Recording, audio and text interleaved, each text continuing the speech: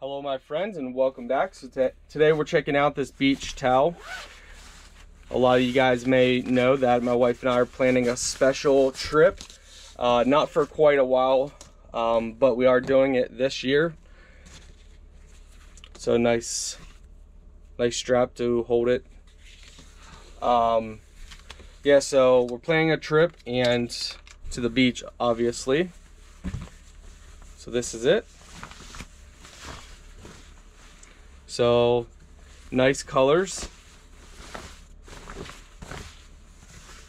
It's like a tribal turtle in a way. Got flower and design. We're gonna lay this out so you guys can see it better. So guys, as you can see, a little tough to see. It is perfect length. It does fit you. So it does fit a full person. And the material it's made out of is different from your regular um, beach towels, which is why we got it. So sand is not going to stick on this like a regular towel would. The material is made really nice.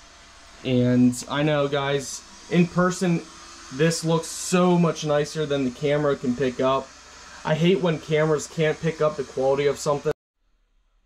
And then on the other side is just this design.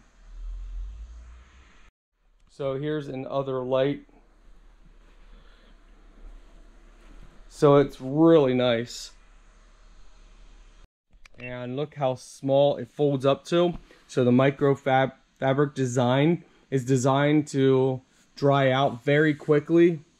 So not only does sand not stick to it, but it dries out really quick and you can rinse the water out super fast.